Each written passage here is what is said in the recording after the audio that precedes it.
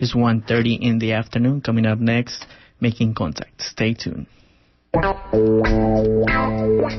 This week on Making Contact. The unions allowed themselves to become partners with the state. It's been decades since the U.S. had a powerful labor movement, and recent efforts to revive it have mostly fallen flat. The Employee Free Choice Act, uh, we should be celebrating its demise. But there is hope for a new labor movement in the United States. It's a vision beyond the unions and includes everyone from steel workers to undocumented house cleaners. On this edition, a discussion on the future of labor in the U.S., moderated by Frances Fox Piven and recorded at the 2010 Left Forum in New York City. It includes some inspiring stories of organizing workers on the Gulf Coast. I'm Andrew Stelzer, and this is Making Contact, a program connecting people, vital ideas, and important information.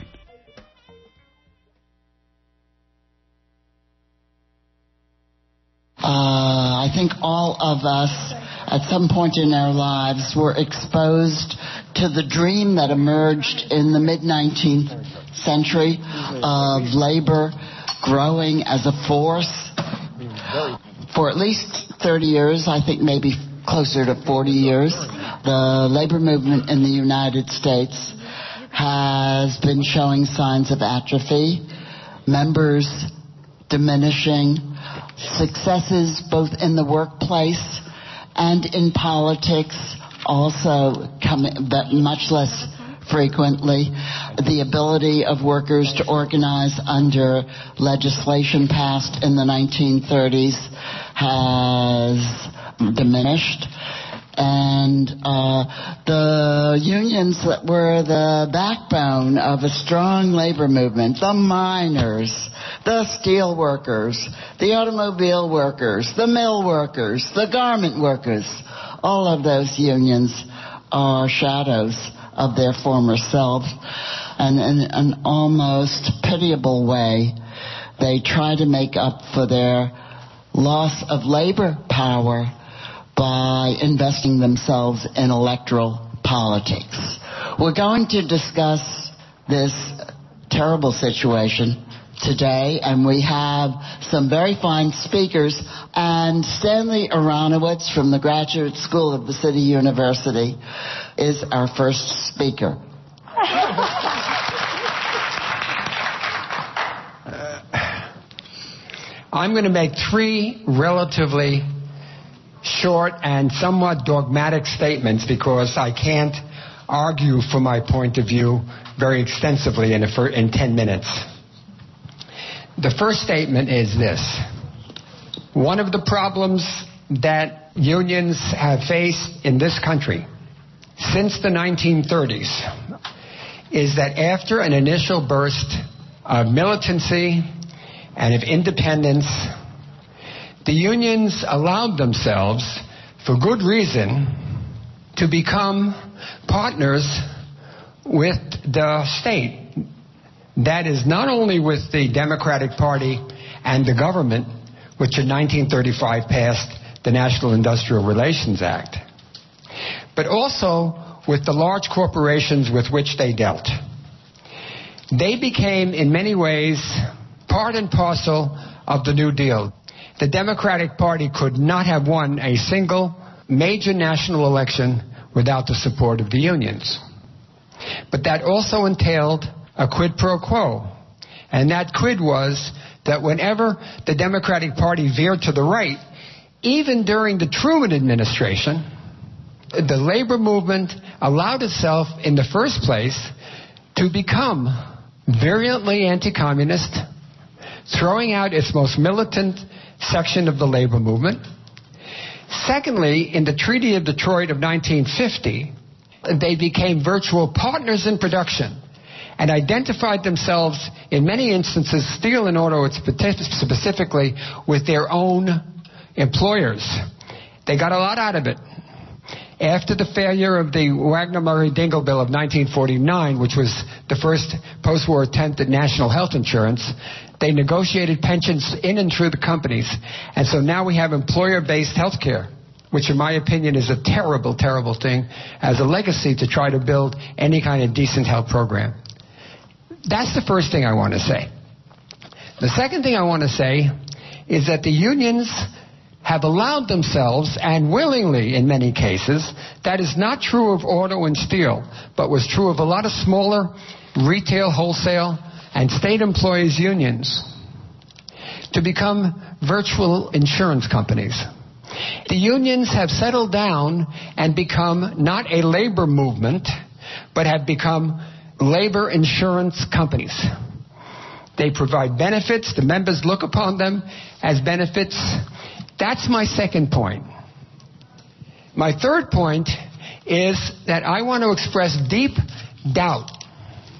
There is grave doubt that the unions can transform themselves from within any more than the AFL could transform itself from within in the year of our Lord, 1933, 34, 35. Now, I want to just finish by giving you a small example. I happen to be a member of the Professional Staff Congress of the American Federation of Teachers and of the American Association of University Professors. We have a dual membership.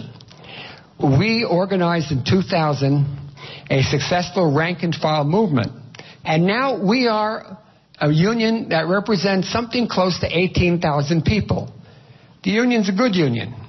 But it's a union that is imprisoned, as are all American unions who are victimized by collective bargaining as we know it. It is imprisoned in this set of relationships. Collective bargaining, A, signifies collaboration, and that's very difficult to overcome when you get things out of it. Now we're in a period where collective bargaining signifies retreat, concession, defeat. The problem is not this good or bad leader. The problem we face is fundamentally institutional. We have become a creature not only of law, and the law is a bad law, but we've become a creature of a legislative process. Fran indicated this quite successfully in which, because our defeats at the workplace and organizing and in many other areas have been so extensive, we think we can achieve things through Congress and through state legislatures. I want to state this unequivocally. We cannot achieve much through Congress, if anything. The state legislatures are ready to cut public employees' benefits, and they're already doing it extensively. We have rendered ourselves virtually unable to rise to the occasion and I end by saying there was one example that should have been a signal that things were in a period of significant decline. 1981, during the air traffic controllers strike, the relatively conservative leadership of the AFL-CIO responded to the strike and the fact that Reagan had fired 11,000 air traffic controllers by appealing to the president for clemency. What kind of shit is that? No, no, no, no, no, but this is serious. What it meant was we are unwilling, unable to create trouble. We are no longer in a position to oppose even a conservative Republican administration by t- tactics of disruption, of national campaign, of the kind that would have uh, surely been the property of a union movement oh, 25, 30 years earlier, we are now only in a position to beg. It may be that the seeds of a new labor movement will take place by a breakaway within the AFL-CIO of some smart, progressive union people like John L. Lewis was but that the substance of the new unionism will take place largely outside of the AFL-CIO. In fact, that's where I think it's going, and I think we all should welcome it and become part of it. Thank you. Our next speaker is an old comrade of the Left Forum, Bill Fletcher, a former leader of the AFL-CIO uh, known for his contributions to Black Commentator, and also co-author of a book, Solidarity Divided, The Crisis in Organized Labor, and our path toward social justice. Bill Fletcher, 10 minutes, Bill. Thank you. The challenge that faces organized labor is not mainly structural, but it's conceptual. And that there's a different sort of unionism that needs to be introduced. The challenge for unions is that the basic paradigm that we've been operating under is dead, and I agree to a great extent with what Stanley just said. And that the search for a new New Deal is um, one that will be fruitless. So, what can we do? There's basically four areas that I want to uh, make some suggestions. One is that there need to be left reform efforts within the union movement that are proposing a different approach to unionism. I, I think is a related point that I'm suggesting this and suggesting also that there's a profound limitation on staff roles. And uh, as someone who has been and is a staff person, one of the things that one can notice is that particularly in the uh, late 80s and 90s, that many leftists chose to enter into the union movement in staff positions basically for, for any number of reasons. In one case, in some cases, it was because their bases were destroyed by deindustrialization or the relocation of industry. In other cases, people felt like they could be more effective as staff people. But there is a fundamental limitation of being a staff person. You're not the political leader. You're there at the request and, uh, of the uh, political leadership.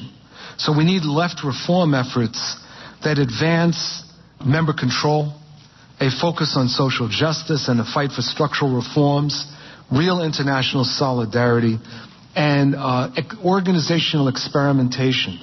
By organizational experimentation, I mean things ranging from the notion of non-majority unionism, which is very, very important in right-to-work states. That is building up unions that do not have collective bargaining because they haven't been able to reach the 50% plus one uh, threshold, but nevertheless operate as unions. So we need those left reform efforts. The second thing is uh, a building up of community-based labor organizations. The left needs to be fighting for partnerships with forces that are outside of organized labor. So that includes one thing that I think is a real priority right now is the organizing of the unemployed. There needs to be support of worker centers, um, but also informal sector organizing. One of the things that's very interesting around the world is that many labor movements have begun projects. In Zimbabwe, I, I was there several years ago, and the Zimbabwe Congress of Trade Unions was introducing this alliance with these informal economy organizations. And uh, in several other parts of Africa and, and other parts of the world, there's been this interesting and underpublicized effort to build linkages between the formal union movement and the informal economy organizations. A third thing is something we talk about in my book, which is the need for working people's assemblies and a working people's agenda. The basic idea being the, the notion of constructing agendas beginning at the local level that identify like a 10 point program of what it is that working people are looking for and are demanding and assemblies, that is gatherings or congresses to endorse an agenda and to develop the requisite uh, forms of organization. And the fourth area is global solidarity.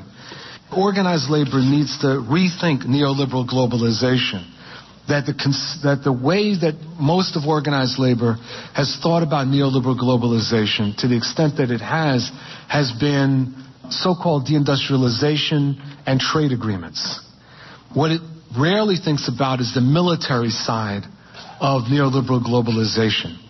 And that absence of the understanding of the military side and the absence of the idea of the need for the union movement to openly criticize U.S. foreign policy has led to um, a, a, profound problem, not the least of which has been the inability to build real solidarity with labor movements in other parts of the world. And I'll stop there. Thank you. Thank you, Bill.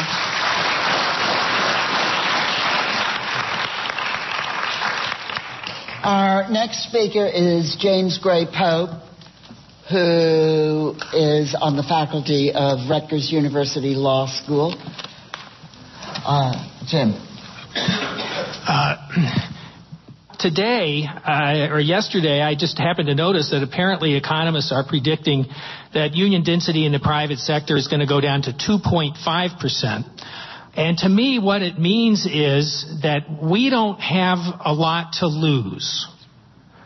We need to consider drastically different approaches. Now, uh, one of the remarkable things about the position of the labor movement today is that the labor movement has absolutely no solution, not even a proposal for dealing with this problem. A year ago, the movement did have a proposal, and it was called the Employee Free Choice Act. I want to say that the Employee Free Choice Act, uh, we should be celebrating its demise. Uh, it was wrongly conceived in uh, just about every way. In contrasting the practice of the American labor movement in the uh, early 20th century with the campaign for EFCA, uh, I want to just mention four different criteria on which they differ. First of all, the time frame in the early 20th century was long term, and I mean relentlessly long term. Labor leaders and activists just kept pounding away. We need the rights to organize and engage in concerted activity. And they came back in Congress after Congress, and everybody knew what people were going to say when they stood up to speak, as irritating as it might have been, and that developed a little force. Second, the model was based on worker practices, not staff practices. Uh, the uh, Employee Free Choice Act was developed by staff members getting together and trying to figure out what's going to make our job easier, not based on worker practices. And uh, the labor laws, uh, certainly the Norris LaGuardia Act, was based on worker practices. It was what are workers doing? Well, they're self organizing, and that term went into the statute, and they are engaging in concerted activity for mutual aid or protection mutual being the key word, mutualism, solidarity. Third, the strategy for passing the law. The, the turf on which the campaign was made was the turf on which we lose. Money and lobbying. The only part of the terrain where we can win is the is labor, withholding of labor power, and that's not to belittle labor community coalitions. I, I totally agree that they're crucial and uh, can help in every way, but it's really with the withholding of cooperation, as Frances Piven said way back when, that is the source of power of, of poor people. And then finally, principle. The Employee Free Choice Act is the principle of the act is free choice. And what is free choice? Free choice is a market concept. What you visualize is workers making a free choice. How am I going to get more? Am I going to get more by picking a union and paying dues and having a bargained agreement? Or am I going to get more by remaining on my own, letting others pick the union, and then I can free ride on them? Uh, or uh, certainly that would be the dynamic in the early stages of a union campaign where people have to step out and take risks. Organizing uh, takes place, uh, I believe, through solidarity and uh, people pulling together. It's not about free choice. It's not about rational choice. It's about what kind of person you are and whether you uh, view your solution to your problems as pulling together. So I would say that instead of free choice, we should be arguing for, of course, solidarity at the bottom, but freedom of association. That's the principle that uh, we should be supporting, that the movement of the early 20th century supported, uh, and that principle can be quite powerful. Thank you very much. We'll be right back.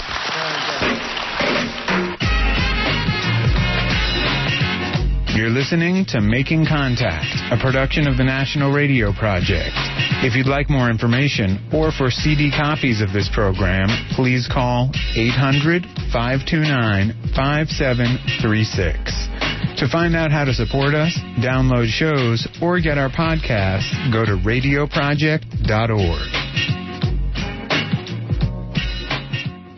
So we've heard a lot of talk about the need for workers to organize outside the traditional union structure. The next speaker on the panel has been doing just that. Saket Soni is director of the New Orleans Workers Center for Racial Justice. Worker centers exist precisely because a large number of workers were left out of the New Deal. And today, the people who are organized into worker centers are in large part the people we're talking about when we talk about the future of the labor movement. Day laborers who stand on street corners um, looking for work, who have organized into a national federation. Domestic workers who work in households who have organized into a national federation. Um, guest workers, who I'll be talking about a little bit, bit, who are organized into an emerging national alliance. Farm workers and others who have, for the last many years, tried to organize outside of the labor movement very powerfully and in some cases gotten to the point where they can have partnerships with the labor movement to move labor not only to the left really, but to move labor to the bottom so that there can be a bottom-up approach to worker organizing again. Um, so I just want to give two or three points of context. Firstly, after Katrina, what we saw was the past 30 years of American history repeated over again in about six months. Uh, it was the United States in microcosm. Very soon after Katrina, a large number of African American workers were displaced and a large number of immigrant workers were brought in to replace them. The African American workers were locked out because of public policy and immigrant workers were brought in. The local workers immediately after Katrina found themselves racially excluded from the reconstruction.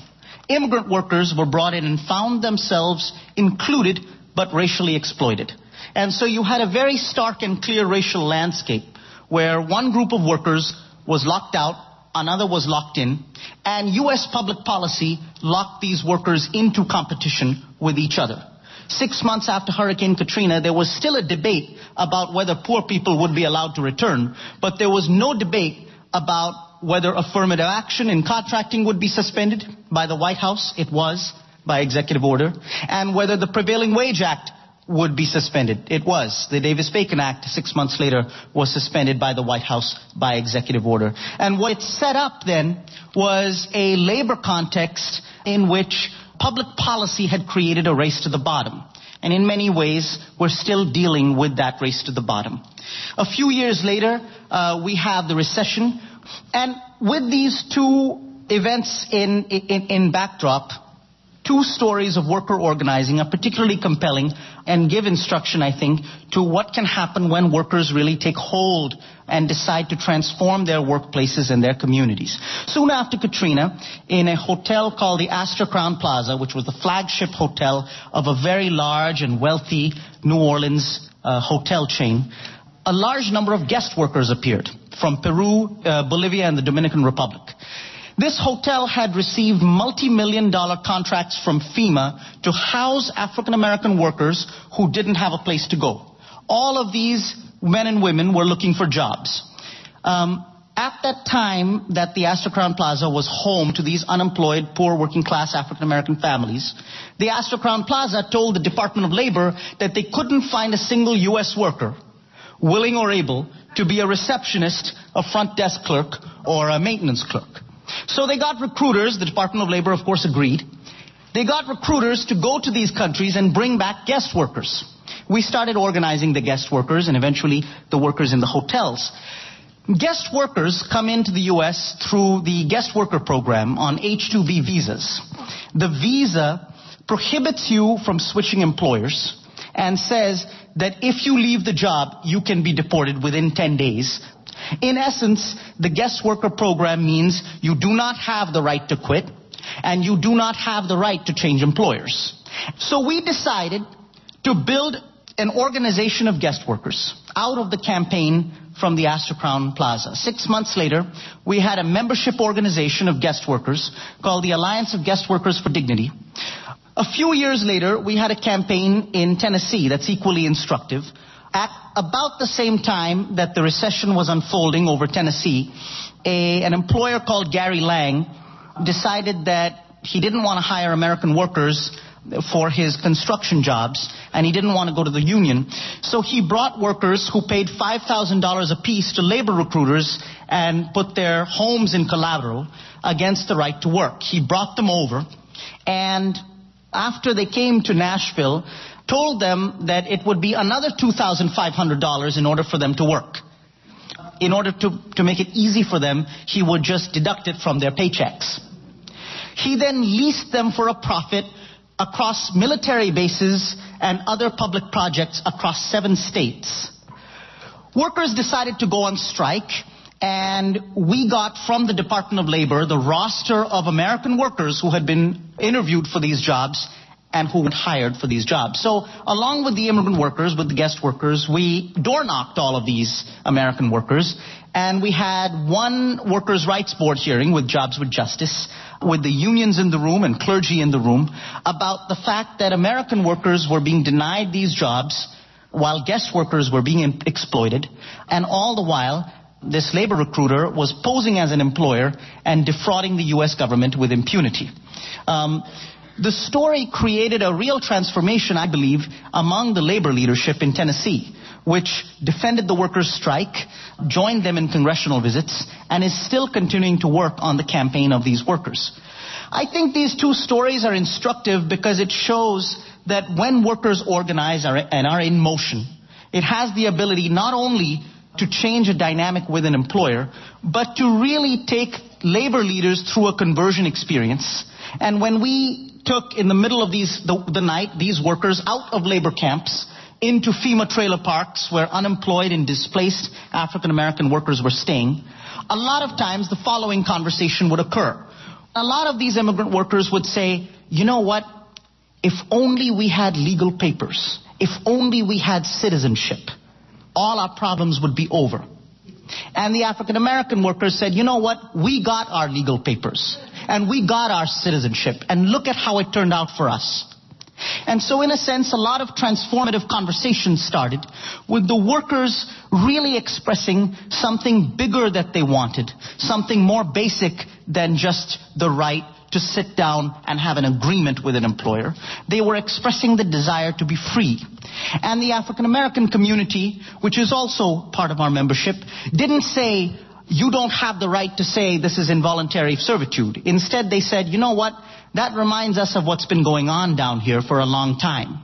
On that basis, and on the basis of many conversations, we created a theory, and the theory was essentially that the guest worker program, because it does not allow workers to switch employers, because it doesn't give you the right to quit, is a violation of the 13th Amendment.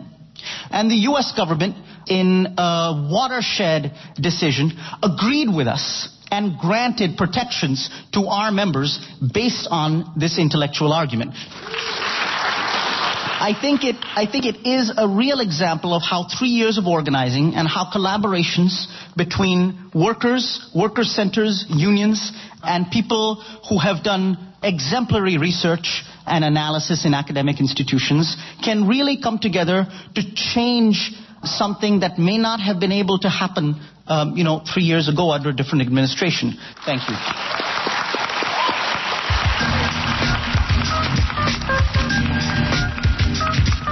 That's it for this edition of Making Contact. You've been listening to excerpts from The Future of Labor in the U.S., a panel discussion at the 2010 Left Forum in New York City, featuring Frances Fox Piven, Stanley Aronowitz, Bill Fletcher Jr., James Gray Pope, and Saket Soni. Special thanks to Between the Lines Radio at WPKN in Bridgeport, Connecticut. You can hear the full length version of this discussion on our website, radioproject.org. That's also where to find our podcast, download past shows, or help make a difference by supporting our work. Thanks for your support, and thanks for listening to Making Contact.